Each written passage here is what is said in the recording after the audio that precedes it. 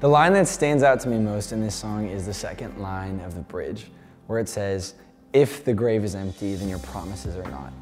And I love this for so many reasons, but I think there's, there's two really main ways to look at it. And the first is a big emphasis on that if. If the grave is empty, then your promises are not.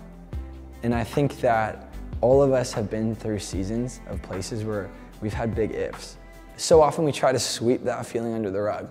And as a result, we end up just feeling, um, we, we feel unloved, unseen, unheard. But the other way to look at it too is that your promises aren't empty then. That if the grave is actually empty, then that means every single thing that the Lord said, He's going to accomplish. All of His promises are true. And because we know that if He rose from the dead, that means He has the ultimate victory, which means every single thing we face, there's victory at the end of it. So I can be in the season of if.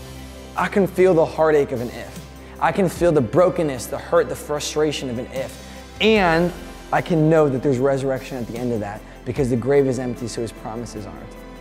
And that's so powerful to me to claim that, to be in that place of knowing, God, you are a man of your word. And no matter what I feel, no matter my circumstance, I can depend fully on you, knowing that you're a God of the resurrection, and there's always a resurrection after, after death, that you bring life out of every single thing.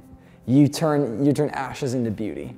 And if the grave is empty, then your promises are not.